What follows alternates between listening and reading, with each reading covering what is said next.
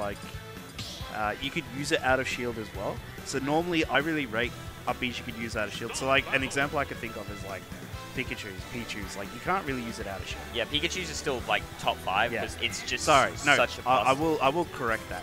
Pikachu's you could use out of shield. Pichu's you can't. It- I mean, like, but why would you use Pikachu's uppy out of shield when you have like Nair? Yeah, but that's the thing. You've got you've got so many options that it doesn't really matter anyway. But Yeah. the point is, like, when you have an uppy that you can use out of shield, that's already pretty nice as it is because it's an added mix-up you can. So the Yeah. fact that he's got an out of shield option, he's got it for recovery, and he's got it as a potential kill move, it does make it really strong. Yeah. For me, top three uppies, I would say is like, um, Link's, I don't knows, Game and Watch, maybe maybe Bayonetta, maybe. Like um, I'm judging these moves in context. So Bayo's isn't that excellent on another character. Bayo's is so excellent because it confirms into a Nair, side B, everything else, also being an amazing recovery. But on another character, I couldn't see it being as good. Yeah. Anyways, we will be progressing to the next winners quarterfinals, which is Jdizzle and Xav. Game Watch Now- Link Warrior, yeah, I can see that. Now, Xav has been playing pretty well today. Um, I don't really remember where he's meant to be seated, but I think he's performing about Uh, to where he's he's eighth. Yeah, so, so yeah, he's, ma- he's made a seed. Yeah, so he's made his seed. So, and uh, look, he's been playing pretty solid today. Like, nothing too uh, special, but at the same time, like, he looks pretty good today. So, And this is Jono we're talking about. yeah. The thing is, though, his opponent is Jdizzle, who is, you know, if not arguably, uh, is probably considered the best uh, player we have in the I, region. definitely, I definitely think he is. Biggest fan. Cloud up the outer shield is pretty good, but it's a terrible recovery. Yeah. Oh, Jono. I- don't know if that was a misinput or Yeah. what was going on there, The but Weird, weird up B. I think that was supposed to be grounded. doesn't really get punished for it. Oh though, my so god. Oh, oh, that's tragic. that's- That's so tragic. Oh man, you hate to see it. Like really well done there from Xav to try and get like the hard, um, the hard read with his down B, and then just dies for it anyway. So- Yeah, he, he did. Um, uh, that's his neutral B, by the way. Down B is uh, Oh, yeah, sorry. It's been a while for me. I've been out of the game for a while. I do Oh, apologize. Is this your first tournament in a while? Yeah, look, it's been a few months. Yeah, alright, Um, sick. I just haven't been able to play the game, so uh, if I mix, uh, if I mess up the terminology, I do apologize in advance. Aiden equals Jdizzle fan club leader, and I have the shirt to prove it. He I, does. I, unironically, I do have a Jdizzle's biggest fan shirt. Great. I feel like the end of this game is coming up pretty soon.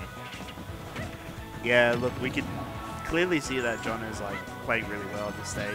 Um, That's an up air. Like he's oh, made he he's made a couple back. of mistakes, but nothing really like too noticeable other than that weird That's death. up the end. Yeah, that's that's Ooh. the stuff there. Almost a two minute game though. Two Yeah. minutes, one second.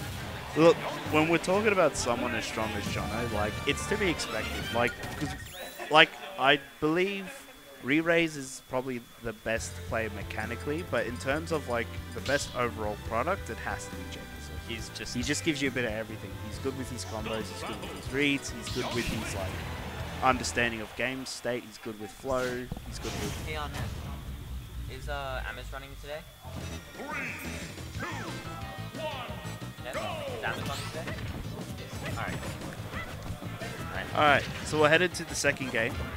And Battlefield. Yes, we're Uh, taking the battlefield. So um, I mean, I'm assuming obviously this was Xav's preferred pick um, in terms of all the maps he could choose off in general. But I'm pretty sure this is a good stage for Young Link, but I know next to nothing about Peach other than Turnip. so- yeah, look, my my thinking here is that what he's probably trying to do as the Peach is allow the platforms to kind of use as like a resetting tool to kind of limit the amount of quote unquote camping that Jono can do. But at the same time, like Jono could just do the same thing and just edge camp.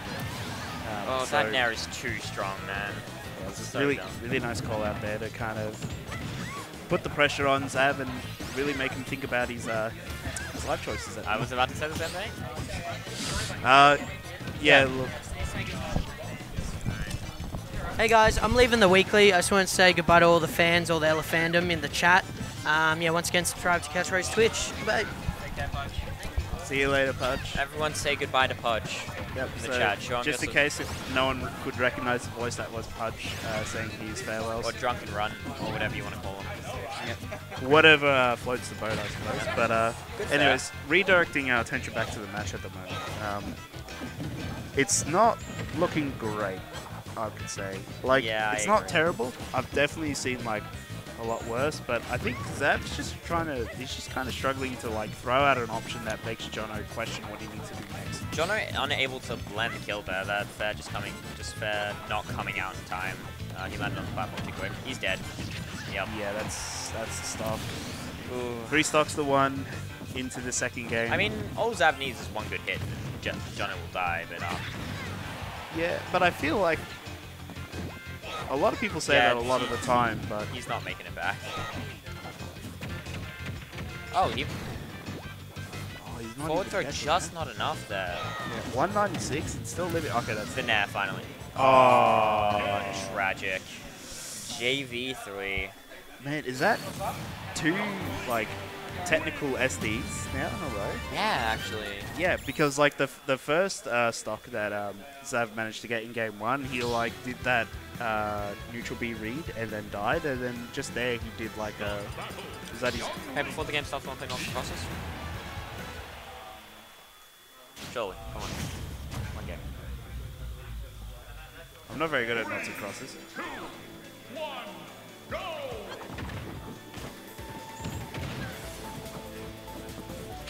Oh, that's tough. Ah, damn. Alright, game. Alright, so we'll get back, Back to, to. Battlefield. Uh, after that last game, not sure how I feel about that choice. Yeah, like again, there, there has to be a game plan that Xav is thinking about when he's taking this uh, map choice. But at the same time, it could probably just be a thing where he's probably thinking, well, on all these other maps that Jono wants, he could do this, this, and this. So maybe on Battlefield he can eliminate something, but I'm not really sure what he's trying to find. Yeah, and again, after that last game where he just kind of got wrecked, um, yeah. Sorry. But, uh, if you're watching the VOD back, I'm sorry. I, Yeah, I mean, I wish I wish I could such a good have some advice, but I don't really feel like I'm in the place to give advice. But I think if there's anything I've really noticed from an analytical standpoint, I think the big thing that a lot of players struggle with, and it's not even just a Xav thing, it's just a lot of players in general. I think Jono's so good at controlling the space that no one really knows how to kind of manipulate what Jono wants to do in his game plan. And I think the best way to kind of counter what Jono is doing is to I don't know how to explain it, but it's like to anticipate when he wants to control the space and then when he wants to get it. that bomb blow up was so lucky. Like, he was dead for sure. yeah, I felt like he should have been uh, dead, but Yeah. I'm surprised Xav hasn't been able to just find this kill. He's normally pretty good at that. yeah, But Jono, Jono's just really good at just walling out those options because he knows he knows that um, Xav's trying to find a kill move here, so he's just trying to deny all these options.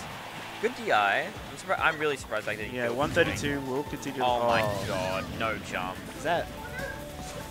Te- would, would we call that another SD? That was definitely an SD. Um, he fast fell past the ledge, had no jump. Yikes, man. This is yeah, this is looking rough. I mean, look, 182. Like a lot of things are gonna kill a He young. can, do, he can do, I think he can get a kill. Okay, yeah, yeah, there all we right. go. Finally Another gets it. JV3? I hope not. See if he can get some damaging. Oh, okay. Yep. Yeah, yeah, got some Hold on. damage. Oh, He's, he's building? He's not building anymore. okay. Got to 50 though. That's not too bad. Like we'll, we'd take those.